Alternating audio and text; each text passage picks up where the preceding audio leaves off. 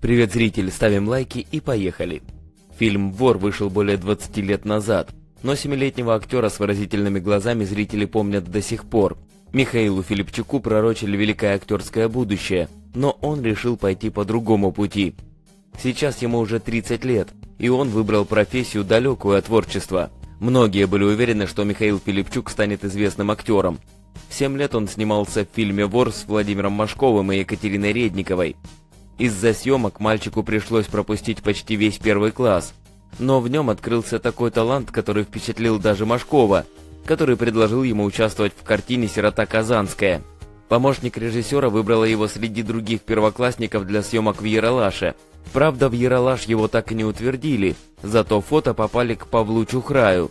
Он как раз искал исполнителя на главную роль мальчика Саньки в свою новую картину «Вор». Голубоглазый мальчик с трогательной челкой сразу понравился режиссеру, и Миша был утвержден.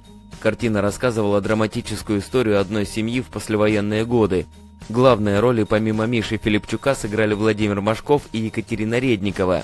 И все-таки не отличная игра знаменитых актеров, а именно детская непосредственность, помноженная на несомненный актерский талант Миши Филипчука, способствовали огромному успеху фильма. Фильм собрал множество самых различных наград, он был даже номинирован на «Оскар» в номинации «Лучший зарубежный фильм». Не обошли стороной и Мишу. Правда, на 54-м международном венецианском фестивале из-за возрастного ценза приза он не получил. Зато был отмечен наградами на фестивале в Таллине в 1998 году и на фестивале «Созвездие 97».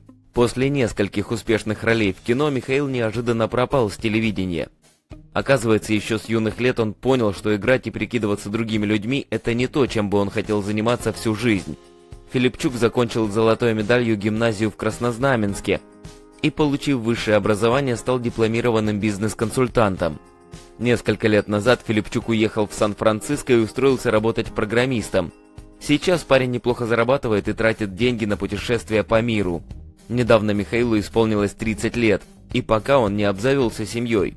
Он редко бывает в России и не любит давать интервью журналистам, вспоминая свое киношное прошлое.